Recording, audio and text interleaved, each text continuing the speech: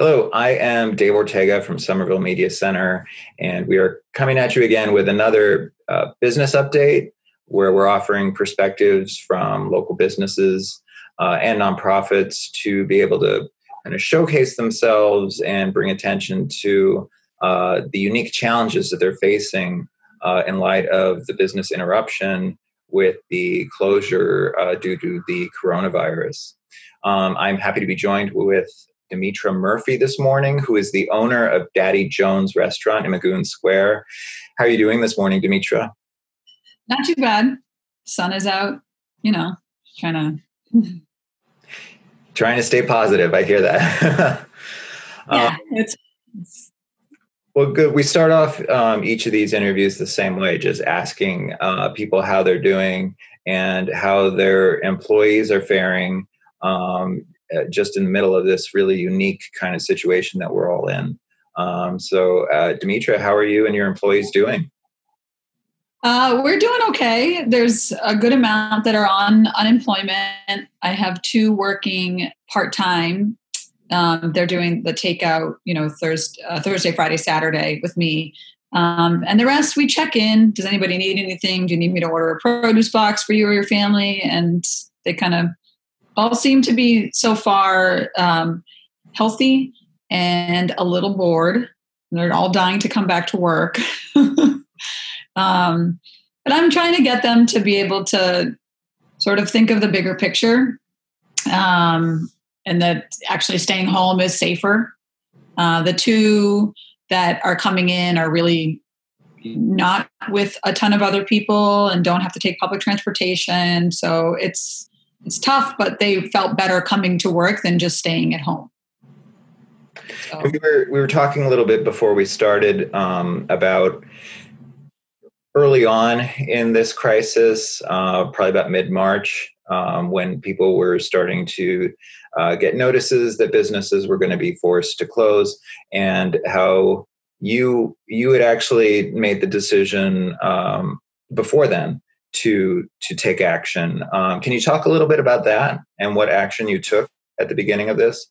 Yeah, so I, that that Friday, it had been in my in my head from the night before, and when I came into work, I was on the phone with my brother driving over.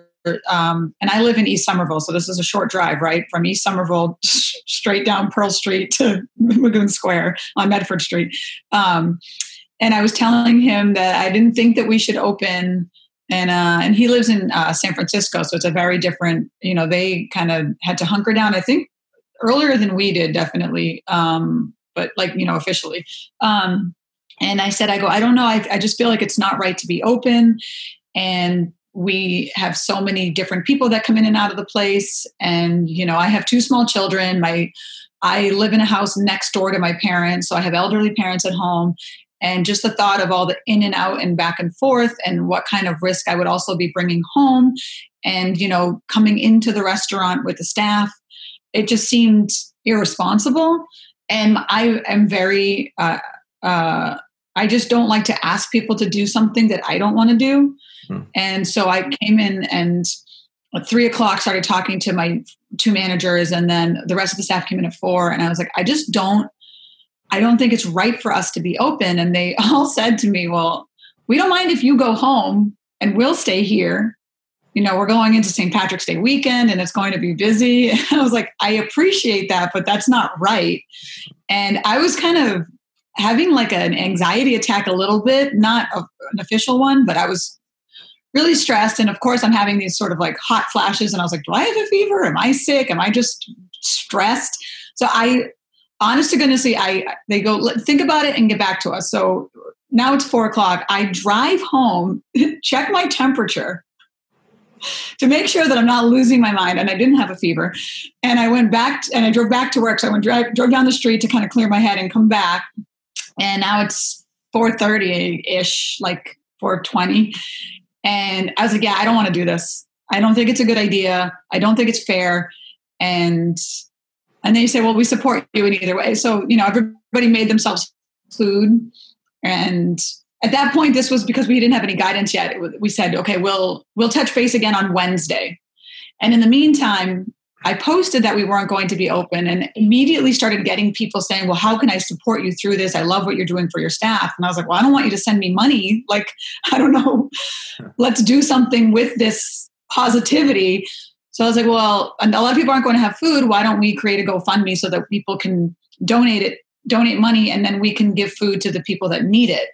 And um, and that's turned into a much kind of a, a, bigger thing now and we're getting so many inquiries that we had to kind of transform the way it was happening um, so it makes me very happy to feel needed because i think as restaurants part of what we want is to make people feel good and also to feel loved like we like to be behind the scenes i i like to be behind the scenes but i also want people to feel good so it's been this kind of interesting morph of being able to feel like I'm doing something for somebody. But in this case now it's people that I don't know because we take the food and we just drop it off on their doorstep. So it's it's interesting. Um, and now we brought back takeout a little bit, so it's been kind of balancing the two. Yeah. yeah. Um, so can you can you expand on on uh, how it is that people are buying food for other people um, and sure. how? So it started as as just them making donations to the GoFundMe, and I used to coach uh, cross country up at Somerville High School. So I reached out to one of the other coaches and to the uh, athletic director. And I was like, listen, we're doing this. If you have any connections to families in need or somebody that you know that will need something, because having been up at the high school, I, I know what, I mean, one of the things that used to really touch me about being a coach was that the kids wouldn't want to leave practice. Mm. And it would make me think that they don't want to go home because it's whatever's going on at home isn't as good as what they have with the team, with the unity. And I've gone on to hire a lot of former athletes or been introduced to people through the athletic department to hire, you know, local Somerville kids that have grown up within the restaurant. So I immediately went to them and was like, what do you need? Or what do you, or who do you know? And you started getting copied on emails with um, guidance counselors and um, from there, now there's some different organizations that have reached out to me about doing drop offs. And um, so basically, it's been different like hot food or cold food or ingredients, um, hot food or dry food, um, or produce boxes. And so basically, we get an address and we send them a text message, coordinate what we can do, and then we um, drop off on their porch. And we've also bought food from Pennypackers. So we didn't want to just help ourselves, we wanted to help Magoun Square. So we bought food from Pennypackers, and we've been able to do some Pennypackers uh, drop offs to families. And we've given out some gift certificates to La Posada because La Posada is a few doors over from us, and they have been able to, you know, people can get takeout from them or a delivery from them. And then we also bought some produce boxes from uh, Dark Horse. So uh, Dark Horse Public House is doing the produce for sale, yeah. and they out to us and had six families that needed food, so we were able to buy produce from them and turn it into food that went out to some families. That's that's really great to hear the way that um, you've come together to support the larger community and people uh, who need food um, in this time of rising food insecurity, um, as well as uh, finding a way for all these businesses in the area to come together and and help facilitate that. That's that's really uh, it's a lot. It sounds a lot like a non like nonprofit work. um, so, and and that you've been able to adapt your your your business to be able to do that uh, at this time is is really uh, commendable. Um, and oh, go ahead. No, I just I wanted to say it was we've been so loved by the community and we're just like a simple restaurant right? We're not doing anything that's you know james beard worthy. It's always been to us about the people nearby in the community and everybody feeling good. So mm. it, it kind of felt like this was how can we think about all of these things going on? You know and then weeks later i'm seeing these uh, posts of like farmers that can't get their food and they're just throwing it away. And I'm like, what is wrong with all of us where there's people that need food and people that have food to give it away and we can't all connect? And why haven't restaurants years ago been asked to feed people that need it? Like, there's so much, you know, things like food waste and oh, I'm trying to special this before it goes bad, or I could cook it off and and and make it for a family that that needs it, as opposed to wasting it. And I so, you know, the fact that these are even issues is really frustrating. Like mm. I, so I'm glad that we can do something that can help others. What makes me really sad. So I live in East Somerville, right? And I've been doing a lot of these drop offs, and I'm like, yep, I know that street. Yep, I drive by that house all the time. So it it hurts to think that you're in the middle of something and there's so much pain going on all around you, um, which is you know, like I was like, I live in my house. I have a yard, my kids can run around, and I feel guilty. It sucks. Like it makes you think a lot about just Somerville as a whole. And I feel like we're really lucky that there's so much of a network. And I think that the city does a lot. And I think that there's a lot of organizations looking to help, but it makes you really sad, or it makes me really sad that there's so many people that need help. Hmm. So I have a hard time because I have this restaurant that's, you know, struggling and it's like, what's going to happen? And is it, is it safe to open or, or do I care that it's like that it's not safe to open because why would I want to do that? You know, or is this a, is this all real? And then to think that there's people that are actually really struggling, it, it feels much bigger than my restaurant. So it, has been really hard to think yeah. about. And to, uh, and, and um, so what has what's actually been the best sources of information for you um, as a restaurant owner, um, as somebody embedded in the community. Um, you know, it, it, we've seen kind of waves of information um, come through. Uh, has there been anything that's been uh, any any one or two sources that have been really good for you?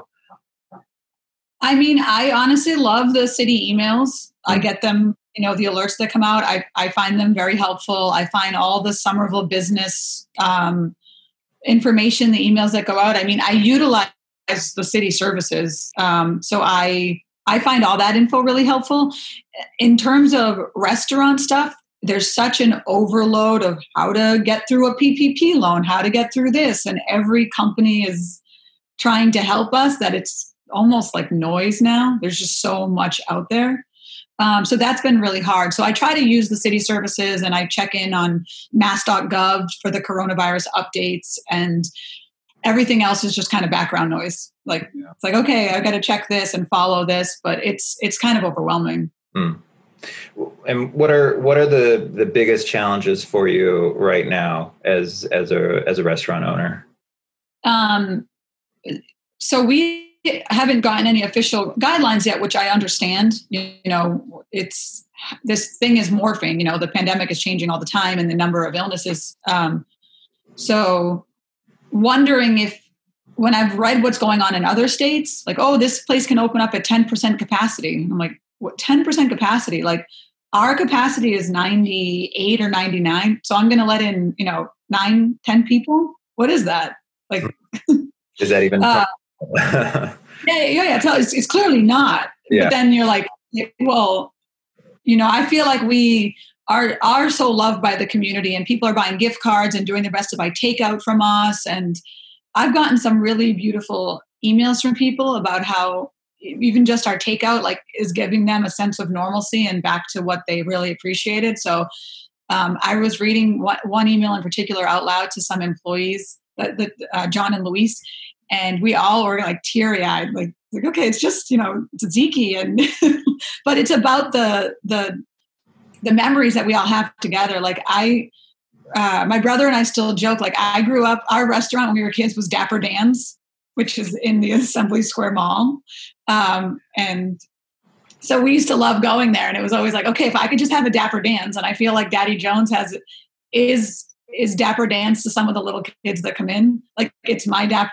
it's their Dapper Dan's. That makes sense. Yeah. Uh, so knowing that if and when we can reopen, it's going to actually make sense and not disappoint people. Like I have this fear if it's like, well, how long is it going to be a 25% occupancy or X, Y, and Z? Like what's the uh, the thought process behind that? So I'm I think the most frustrating thing to get back to your question is like just nobody really knows what to do yet. Mm. And I understand that. Like I understand that they shouldn't know what to do yet. Like none of us were alive in 1918. So it's just the waiting game. The waiting part has been frustrating and just waiting to find out. And because I don't think it makes sense to rush to open if it's going to hurt people.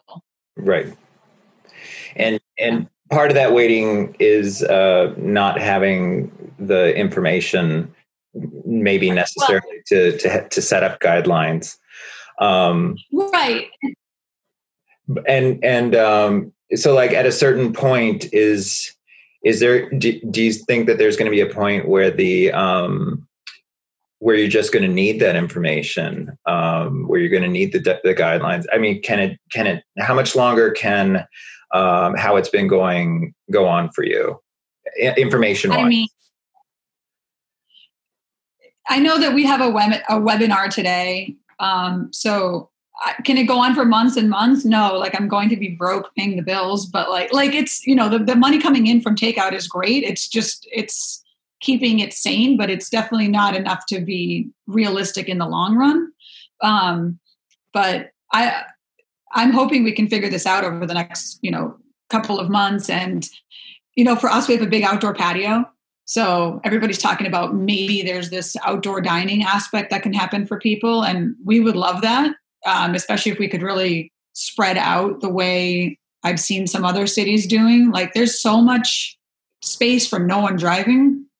And in Central Square, I know they would turn some of the parking spaces into uh, seating and mm. turn it into kind of patios for restaurants. I think that that could be a really cool thing to do. I mean, we've already turned Broadway into one lane, right? Like, why can't we take some of that, the parking spaces in some places and turn them into seating for restaurants? I think it could be kind of cool. Yeah. And I think it might be a nice way to, to keep it like that. Like, I've been sitting around like, do I even need a car? Why do I have a car? Should I get rid of my car? You know, like, um, so I think it could be a nice way to transition for a lot of places and, and really change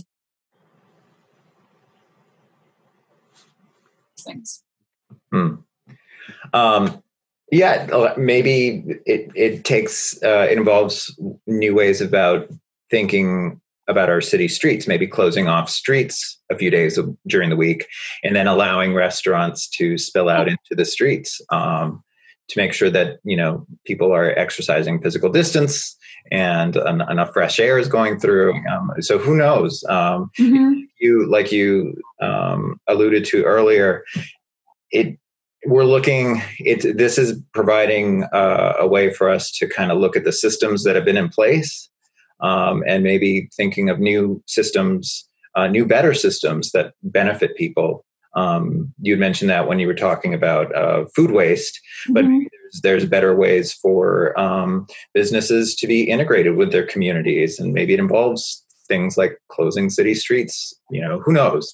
Um, yeah. But yeah, getting getting a, uh, a vision like that from from leadership would be um, yeah, I think we're lucky too because Somerville is innovative and Somerville is, you know, we have so many resources um, that I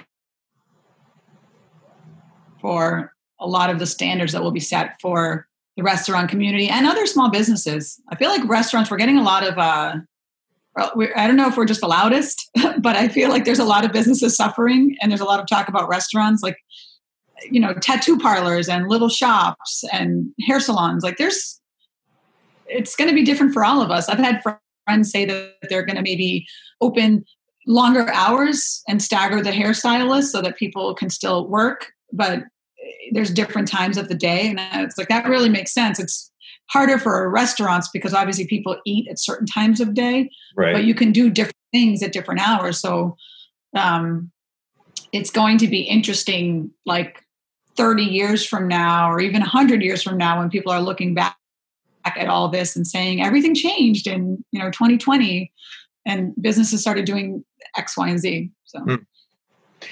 And what's what's the best way for Somervilleans to help out small businesses right now?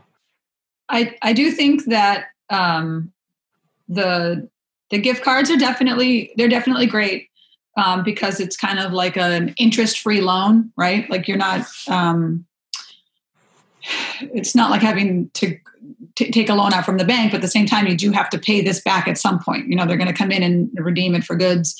Um, I think getting takeout and also I think checking on on neighbors. Like they might be fine, but somebody else might need something.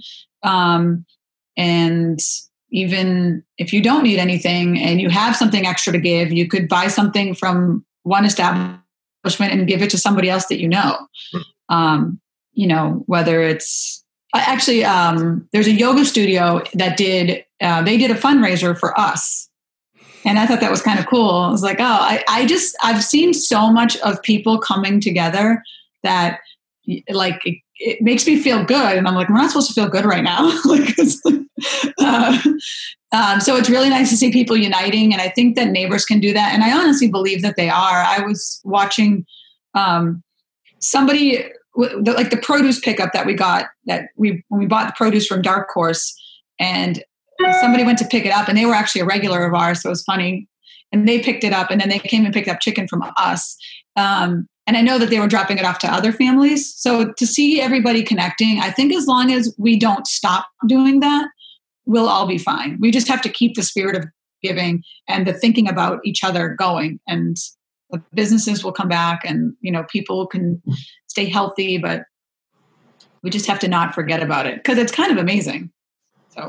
Yeah. Yeah. Agreed. And and um, i think that's that's the best I, we couldn't have ended this uh, this interview and this profile on on you and uh, and Daddy Jones uh, any any other way, any better. Um, so I, I appreciate um, you speaking with me. And did you have any any parting words or a parting thought um, besides that really uh, excellent uh, I, have so many thoughts all the time. No, uh, um, well, I really, I'm really thankful to everybody that's donated into our GoFundMe and been supporting the restaurant. I, I was trying to email everybody back and thank them, and then it kind of got overwhelming. I was like, "Oh my gosh, I can't keep up with this." Um, Welcome to and, the world of, of, nonprofits, where you have to like follow up with everybody. it's it's, it's wild, yeah. Um, so um, I find a nonprofit to be far more difficult than a regular business. I, I, I, was like, wow, I have a newfound respect for all of this. Um, so I think that, no, yeah, no, I feel like I've said so much. well, well, thanks again, uh, Dimitra Murphy, the owner of Daddy Jones Restaurant. Um, and we encourage everybody to, to get out there, go to Daddy Jones's website, which is daddyjonesbar.com daddyjonesbar.com um, and support this local businesses uh, support the businesses in your area support somerville businesses um, and and get out there and help your neighbors. Um, and we will see you next time. Thank you